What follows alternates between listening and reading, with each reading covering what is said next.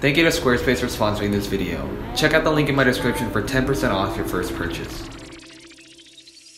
Now, as many of you guys know, I've been a photographer and filmmaker for the past five or six years. I've been doing it since middle school, got really involved in high school, and now I'm continuing it throughout college. Now, a question that I get asked a lot is how to start your own photography business and how to start making money from it. Something that you're passionate about and you want to, you know, make a few extra bucks on the side. As a student, I totally understand that. So today I'm going to be giving you guys my tips on how I started my own photography business in the Dallas area, what you need, the connections that you'll need to make, and everything that you'll need to know because that's something that's not often talked about, and especially as a student, it's hard to get your name out there and especially show people that you're credible and that you still have really good talent as a young photographer. So without further ado, let's cue that intro.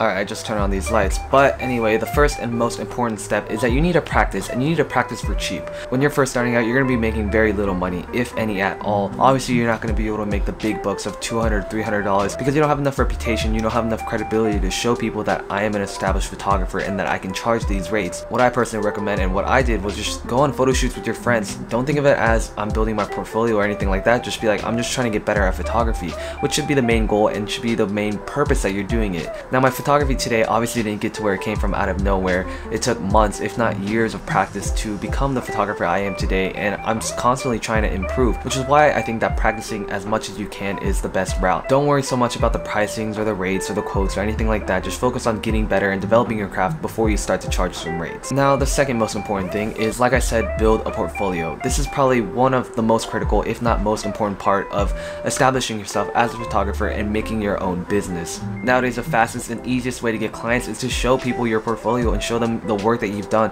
so that they know that you're credible and that you're reputable and that you have great work that you can show them. Nowadays there are dozens of different ways to host a portfolio but the one that I personally use and recommend is Squarespace. You've most likely heard about them before because nowadays everyone seems to be hosting their website with Squarespace. The reason that everyone's been raving about Squarespace lately is because it's so simple to use, it's very user friendly and all the features are super intuitive. Right now I'm in the process of redesigning my own website and I'm constantly amazed of just how easy it is to upload pictures pictures, change the gallery style, change every little thing that you could think about on a website, it's so easy to do. I've also worked for other companies and helped them build their own websites and I always build it using Squarespace. And like I said, it's so easy to use that once I set it up for them, I just have to walk them through of how to use it and they can manage it on their own from there. I personally had no coding experience and none of that was necessary because they have so many drag and drop features that you don't need any of that. Another great thing is that they have an e-store already integrated within the platform. So if you ever want to sell your prints, it's already easy to do. I personally use it to use my ebooks and they also have an app on my phone that I can can track the analytics, which makes everything super seamless. And now if you hit that link in my description, you guys can get 10% off your first purchase. So I highly recommend getting yourself a domain, hosting your website, and building your portfolio because as soon as you have a professional looking portfolio, the amount of clients you're going to be receiving is just going to exponentially increase. So I highly recommend making that investment right now and go check out that link in my description. Okay, now the third thing is to have consistent rates. When you're building a photography business and having clients come to you asking what how much do you charge, how much is a wedding, how much is an event, how much are senior photos, how much is family photos, you can't be just throwing out random numbers that you feel like pulling out of nowhere. You have to have some kind of consistent rate, whether it's on your website or by the hour or just a flat rate, so that clients know that you're professional, that you're consistent, and that you're not ripping people off by charging, you know, $300 for one person or $150 because they're your friends. This can also get into tricky territory when you're working for friends or close family members because then you're not exactly so sure of how much to charge them. But if you have a consistent rate, it just makes things a lot easier and they understand because you're an entrepreneur, you're trying to start your own business and they should be supporting that as well. However, when you're figuring out your rates, don't forget to take into account things like editing time, the transportation, if you need to rent some equipment, all that should factor into the final price of how much you're going to be quoting your customer. Which leads me to my next point of contracts and invoices. I didn't do this when I was starting out photography and I think that's a huge rookie mistake and something that I wish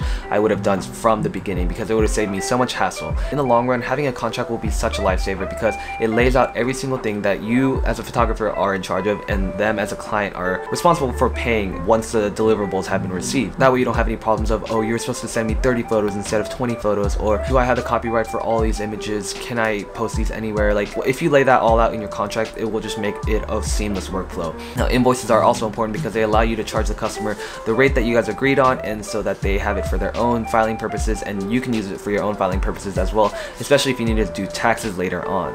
Now, number five is customer service. What I mean by that is your work is only as good as your reputation, especially if you're working in a small town, in a small neighborhood where a lot of people might get to know your name and you're the only photographer, then being a good photographer isn't the only thing that matters. It's also about being a good person. So, you know, being accommodating with someone's schedule if they need to reschedule because of the weather or they're really not feeling well, like be accommodating of that and I promise that's just gonna make your life so much easier as well. Now, obviously you are a photographer and you are a creative professional, either trying to make it as a living or like I said, as a side hustle, but at the same time, your clients need to be respectful of your time as well and realize that our job isn't just to have a fancy camera and to hold it up and take a few pictures and then just go in and, and throw a filter on. Like there's so much more that goes into the whole process of having a photography business. Alright, I hope you guys have enjoyed this and I was able to shed some light on how to start your own photography business. You know, as a young kid and an entrepreneur and a photographer, like I understand the difficulties of starting your own business. So I hope that this was able to clarify things a little bit. I know I haven't been doing as many photography or film videos lately, but I am trying to get back into them. So I hope you enjoyed it. Make sure you guys like, comment, and subscribe, and I will see you guys next time.